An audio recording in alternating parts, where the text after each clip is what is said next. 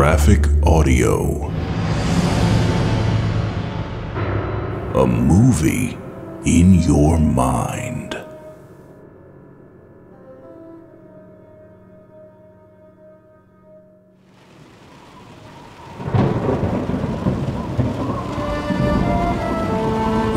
Graphic Audio presents Rogue Angel by Alex Archer. Rogue Angel number 49 The Devil's Chord. Narrated by Nanette Savard. With performances by Colleen Delany, Andy Clemence, Richard Rohan, Terence Aselford, Eric Messner, Patrick Bussink, Tim Getman, David Coyne, Steven Carpenter, Gregory Gorton, Ren Kasey, Bradley Smith, David Jourdan, Gabriela Coffey, Ken Jackson, and Kimberly Gilbert.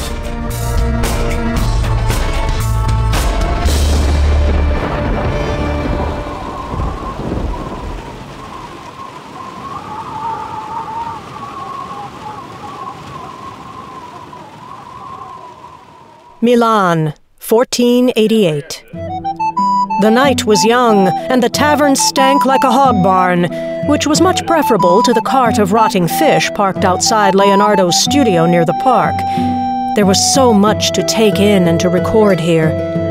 Upon choosing a seat, he'd sketched a study of the tavern keeper's face as it had segued through the various stages of reception, duty, and amiability. The tavern keeper's face now carried a resentful sneer as it turned towards a gent adorned in rich velvet and Venetian lace. The tall, lean man received a tankard and cast about for a place to sit. Please, sir. Leonardo pointed to the seat across from himself at the rough hewn wood table. Ah, uh, greatly appreciated.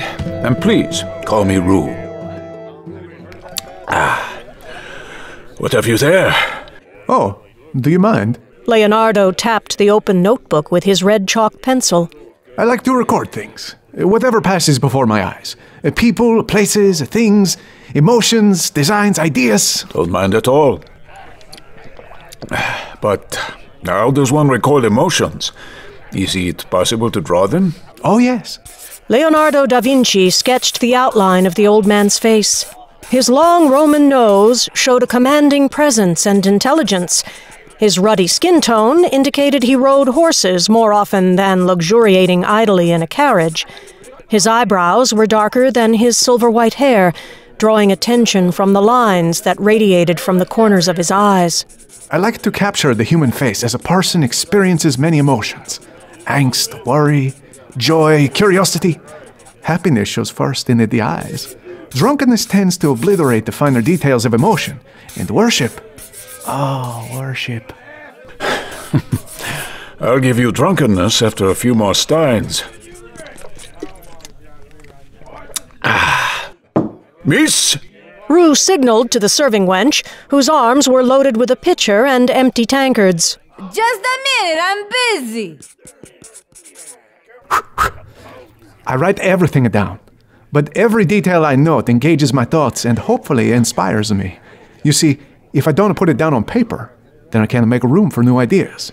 It's so full, my mind. And after I've removed one idea, there are always new ones to fill the space. Hmm. You've a restless mind. I always thought an artist would be, uh, I don't know, uh, serene, lost in the creation of his next work. But that's it exactly. I do get lost. If I didn't have many other notions and interests, I might never take on the next project. Leonardo tugged out his purse. Besides a few coins and more sketching supplies, inside he also kept the key to his special box and a few cards onto which he'd sketched the Lorraine cross he'd recently finished enhancing, or rather, altering magnificently. You're a Stein, sir. Thank you. I've seen a cross like that before. Uh, may I? Roux took the sketch with his long, callous roughened fingers. The cross featured parallel crossbars placed at equal distance on the single center bar. Referred to as a Lorraine cross? Yes! It's a sketch of a piece I own. A gift from René d'Anjou. He was a friend. Another Frenchman. I knew the Count d'Anjou.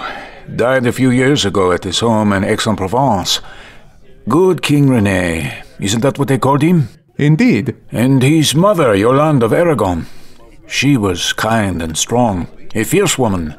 One of Jeanne d'Arc's tutors. Is that so? Rene had never talked much about his family. He was possessed of a mind as busy as Leonardo's own, and always jumped from one topic to the other with frequency. Tell me more. Roux shrugged. I got to know him when he rode in the siege on Orleans in 1429. He and Jeanne were close. Lovers, some say. The man traveled to places far and wide in his quest for knowledge. Did you meet him here in Milan? Yes, we spent some time together. As you said, his quest for knowledge was immense. That man possessed an amazing mind, and I did enjoy listening to one who could speak with such confidence. So this cross, it was once Rene's? Indeed, but before he owned it, it had belonged to Jeanne d'Arc. She'd gifted it to him. D'Anjou implied it was the very cross she clutched to her breast as she prepared to die in the flames. The old man winced and bowed his head. Indeed, it was a terrible scenario to imagine. Once I had the cross, I immediately knew I had to fashion it into something more spectacular.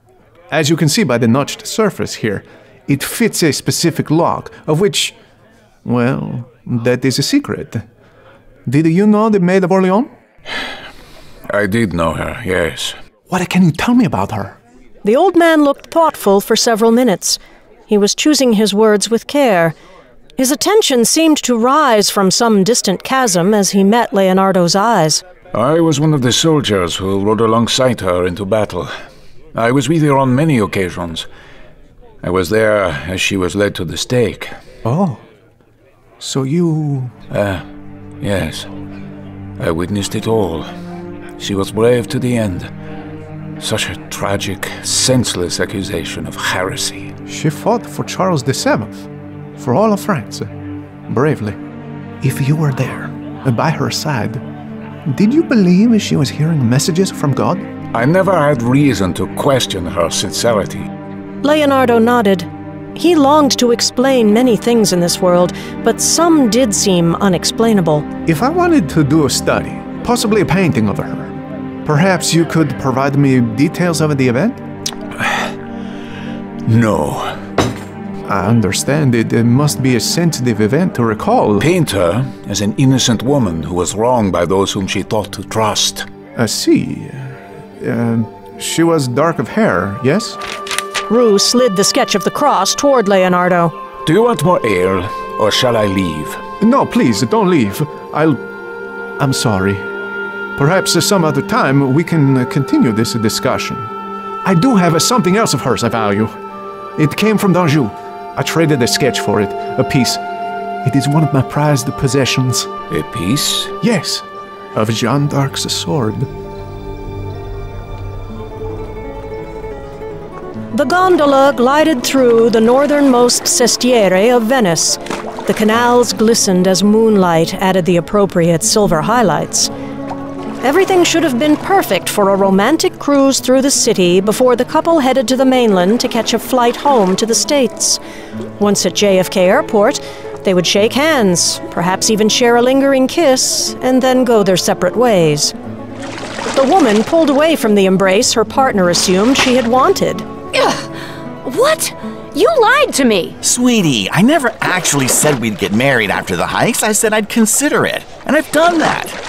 I have given it as much thought as I have our escape plans. I, I just don't think it's the right time. The, the right time? Can we not get into this here? Look around. The city is beautiful. The lights are. I do nothing for you until you apologize. He pushed away from her on the padded bench. Another gondola approached, a red and white striped canopy shading the happy couple who couldn't seem to take their eyes off one another. The woman was clutching a bunch of roses. Hell, he'd forgotten the roses, too. That was the first thing she'd said when they'd boarded the gondola. And when the marriage proposal she was expecting had actually been his suggestion for a two week vacation apart while he plotted their next robbery, her upper lip had disappeared and her mouth tightened. Bending forward, he cracked open the cooler cover. They'd brought the cooler along with the steel attache case. The attache they'd not let out of their sight for two days. The cooler he'd filled with beer, not wine, and he was pretty sure he'd be reprimanded for that oversight as well.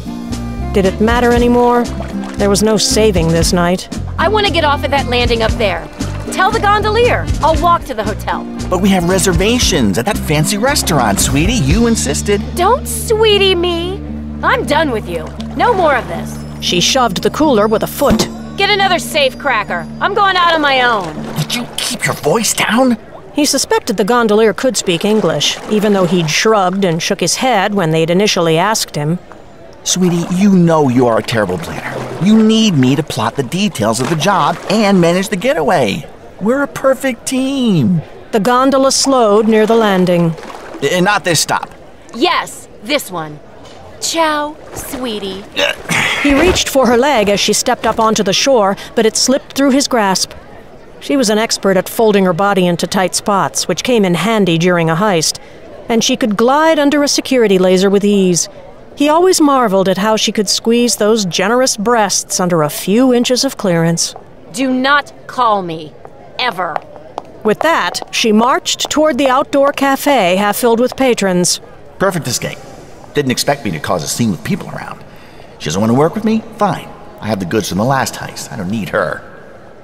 Bowing his head over the beer bottle, he slapped his hand onto the hard metal surface of the attache, but his palm landed on the floor of the gondola.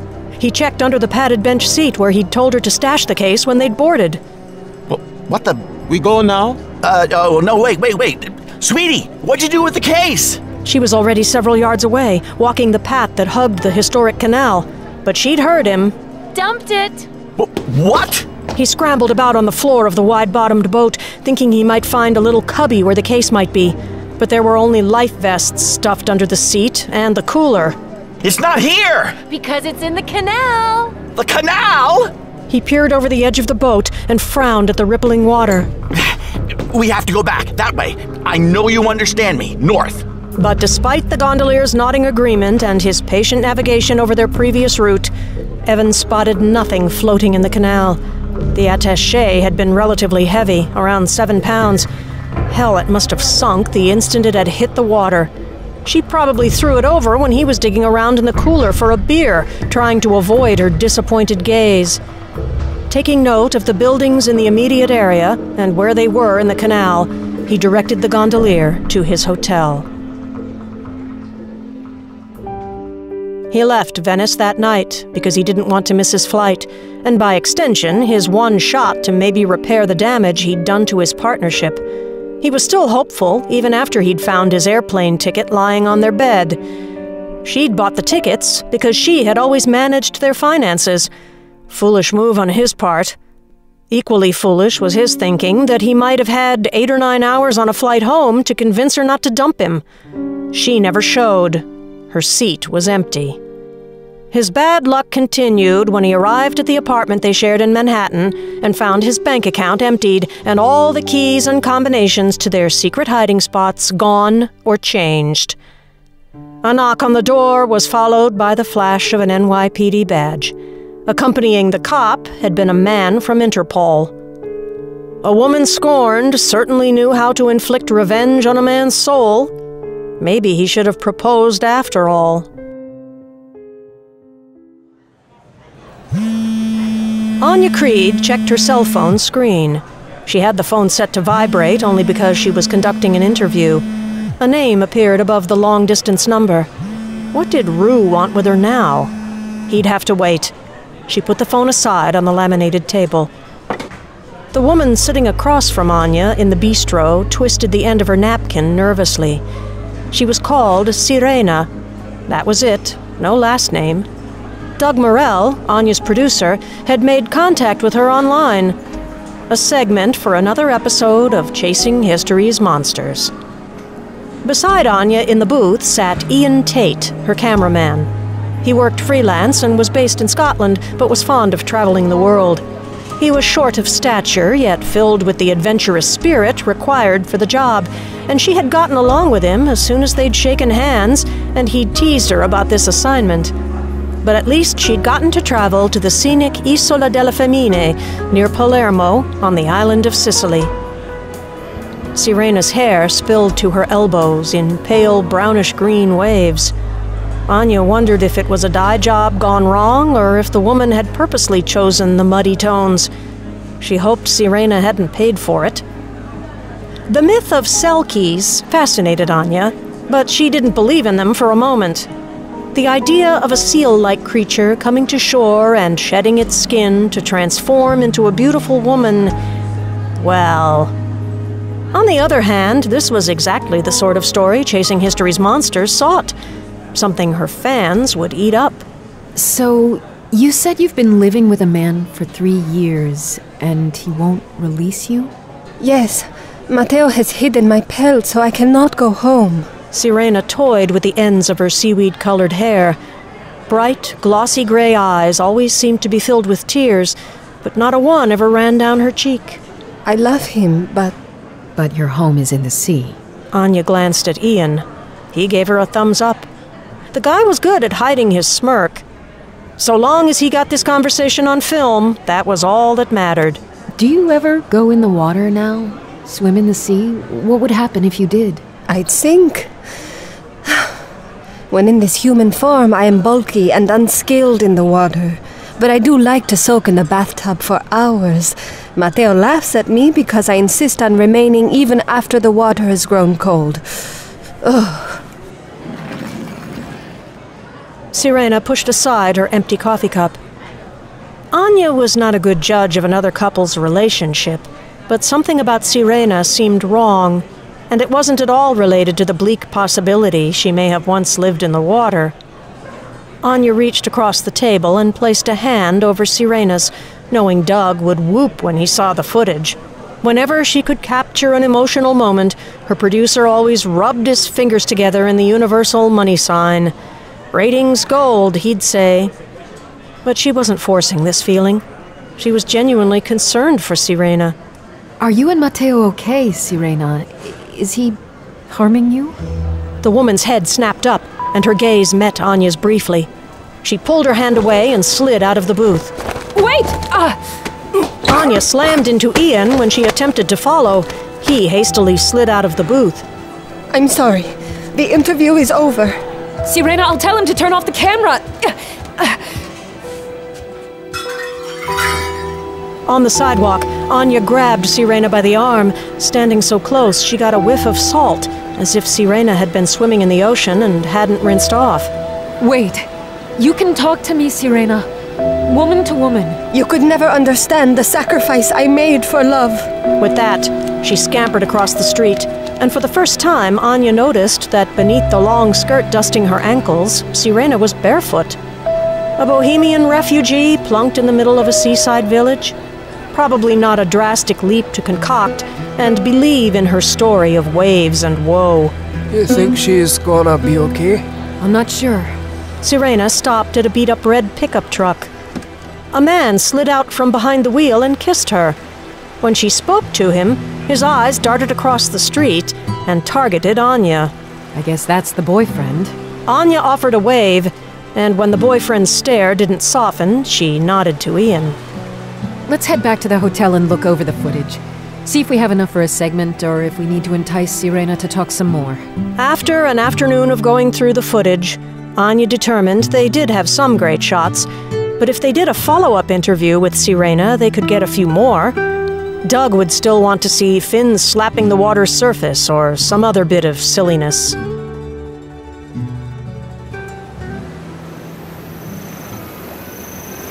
After supper, Annja and Ian headed back to the shore to capture some night shots. Moonlight glimmered across the water's surface. Annja stood back, towing a thatch of ragged grass, while Ian strode the rocky shore. Suddenly, a man ran up behind Ian and grabbed his camera. The man shoved Ian hard enough to make him fall backward and land on the ground. Annja recognized the culprit and rushed toward him, preventing him from swinging a fist toward the fallen cameraman just in time. You two get out of town and stop harassing Sirena! We're filming a story and we were invited by Sirena. Is there something you want to tell us? I just did! Keep away from Sirena! You are not putting footage of her on TV! Why? Because she believes she's a Selkie? The dark haired bruiser with a few days' beard growth stared at her. He seemed overly worked up considering the circumstances. Annja noted the reek of alcohol, which was likely only fortifying his mean streak. Sirena had been afraid of him. Matteo lunged for her. Annja ducked and kicked him below the knee. He toppled forward but managed to grip Annja by the hair. She rolled over his body and came up to her feet in a squat. Do you hurt her, Matteo? Annja jumped up before him as he regained his footing. She could feel the sword humming from within the otherwhere, there if she needed it. But she didn't want to introduce a weapon to this scuffle. She didn't suspect Matteo was armed with anything more than fear of exposure. She tells lies. So you're not keeping her with you against her will? Oh, she she said that? You're lying to me. Yeah. He swung at Annja, but she dodged him easily. The man wasn't so drunk. He maintained his footing and, bouncing back and forth, showed her his fists. Yeah. Stay away from her. Out of the corner of her eye, Annja saw Ian fumble to his feet.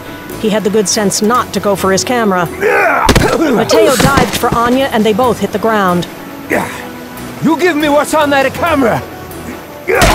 He punched her in the throat, and as he reared back to hit her again, Annja planted her boot in his gut and flipped him onto his back. Then she straddled Mateo's hips and sat down hard. You let her go. Mateo stopped fighting, though he hadn't been knocked out. Let her do as she wishes. If Sirena wants to leave you, let her go. But I don't know where it is. Where what is? Behind her, Ian scrambled with his equipment. The pelt! Oh, for crying out loud! Matteo went limp, blood drooling from his mouth. Annja rose and wiped her hand down her pant leg. He's out. He believes the Selkie nonsense too. Ian's camera pointed toward the ground, the green light showing he'd filmed Matteo's confession. Now what? Annja picked up her cell phone and gestured for Ian to follow her to the parking lot. Roux, this had better be good. Ah, sounds like someone needs a nap. Uh, sorry. It's been a long day. And I think I've spent most of it with a Selkie. Selkies? a bit fantastical even for your wild adventures. I thought you preferred grubbing through a pile of dirt. I do, but I also work for a television program that tracks monsters. You know it's close to midnight. Not where I am. Like you said, I need a nap, so make this quick. Have a very simple question. One I thought would intrigue you. Okay. What? Do you know what Leonardo da Vinci and Joan of Arc had in common? Any mention of Joan of Arc made Annja sit up straight. She turned her back on Ian. Some things she only talked about with certain people. And those two people also had a keen interest in the sainted martyr. Bonus points if you could name their common benefactor. Well, that narrowed it down to one person. Annja liked a good quiz. Well, let's see. Joan was burned in 1431 by the English after being labeled a heretic. Leonardo da Vinci wasn't born until 1452. So, someone who had known Joan and was very young at that time, who then later traveled to Italy, possibly. Aha! Good King Rene! I believe Rene d'Anjou's mother, Yolande, tutored Joan at a young age. And Rene and da Vinci were quite possibly known to each other as well, both being men of the Renaissance. Exactly. The Duc d'Anjou, besides being a philanthropist, was literally one of the first men of his time who sought to share knowledge instead of suppress it. He wasn't as close to Joan as was his mother, but still, there was a loose connection, we think. That he paused now piqued Annja's interest even more. If ever there existed someone who knew historic details firsthand, it was Roux.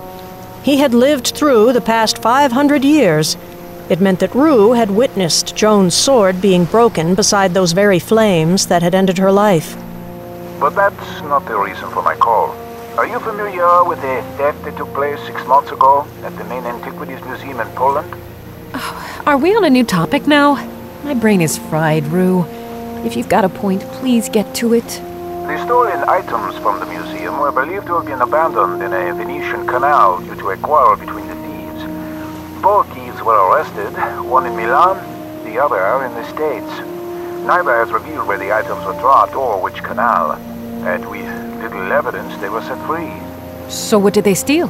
A Lorraine cross, believed to once belonged to Leonardo da Vinci. Lorraine Cross. A heraldic cross with two horizontal crossbars of the same length. Correct. The Lorraine cross was carried into the Crusades by the Knights Templar, and later the image was adopted by the Duc d'Anjou, but only after receiving such a cross as a gift, reputedly from Joan of Arc. I'm not following you, Roux. It is speculated that the cross that belonged to Leonardo da Vinci was gifted to him by Rene d'Anjou. You're suggesting that the cross stolen from the museum was originally a cross that belonged to Joan of Arc? That I am. Huh. So, are you thinking what I'm thinking? Absolutely, Annja. What do you say to a diving excursion in Venice? He was inviting her to do something with him? Warning bells went off in Annja's brain. Roux was always in it for himself, and he'd step over others to get what he wanted. On the other hand, she'd just been invited to go diving for lost treasure, and she now had a reason to stay in Italy, as she and Ian had just been discussing. And if the stay was funded by Roux, she didn't need to bother Doug Morell with the expenses of staying longer to get the extra shots. Okay. When are you planning this adventure? Now. Well, I guess I could sleep on the plane. Roux had purchased a seat in first class, though Annja wouldn't award him brownie points. She had insisted that she would be able to bring along her cameraman, but Ian's seat was back in economy. The cameraman took the news with his usual good natured attitude, knowing he'd been a last minute add on. Besides, economy was not filled to capacity, so he planned to snag a row of seats in the back and lay down to sleep through the flight. The dossier that Roux had prepared for Annja was handed to her in a sealed envelope when she received her ticket. Once the plane was in flight, she pored over the information, which was sparse. The man she was to dive with, Scout Roberts, was a former archaeologist who'd been stripped of his tenure at his university after he'd been involved in a sketchy dig in Peru. The operation had resulted in the unsolved deaths of two crew members. He'd insisted poisonous gases had leaked from the cave walls, yet a forensic team hadn't found any trace of poison. He'd disappeared approximately five years ago and apparently hadn't been seen or heard from since. He'd stopped publishing, and there wasn't a phone number or address for him. He'd turned himself into a ghost. But ghosts didn't accept offers to dive for lost treasure. He had to have a reason for accepting the invite from Roux. Unless cash was the motivator? Could be. Roux did have deep pockets. Even deeper, though, was Roux's love for Joan and anything associated with her. The cross qualified on that score, and it was likely enough to spur his interest in the artifact. It would probably only look good under glass or on one of the walls in his chateau. The fact that Roux had brought her in on the job also didn't make sense if he intended to keep the artifact. Very odd. Flipping over the single page in the dossier, Annja was surprised to find that that was all the information he had. Apparently, Roux knew little about Scout Roberts. Where had he found him? On a street corner? While strolling a stretch of the French countryside in search of treasure? Annja smiled, remembering how she had first met Roux. It had been on just such a stretch in the French countryside. In the Cevennes mountain area, in search of yet another monster for the TV show, she had stumbled upon a hiker who told her he was after something that was lost. Who would have thought that meeting Roux would have led her to owning a sword that once belonged to Joan of Arc, and to a love hate relationship? Setting aside the dossier, Annja settled into the cozy first class seat and pulled up the blanket to her forehead. She wanted to be in top form when she arrived in Venice.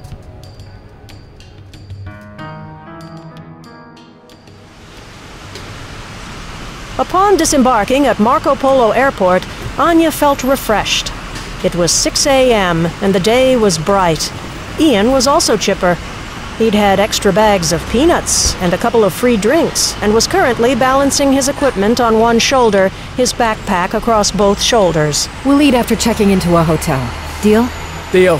Annja strode directly to the cab stand and was greeted by a tall, solemn man in black trousers and black turtleneck who held a placard with her name neatly written in block letters. Miss Krieg, welcome. I am Paul, your driver here in Venice. I picked up the diving gear as was requested by Monsieur Roux. Two sets. I've had them delivered directly to the boat docked in the canal. Thank you. You're punctual. I appreciate that. Shall we go? Of course. There is a bit of a traffic bind, I'm afraid. Accident as I was coming toward the airport. We may have a wait, and then we'll travel on a water shuttle to the island. I live in the city, so I'll be at your service.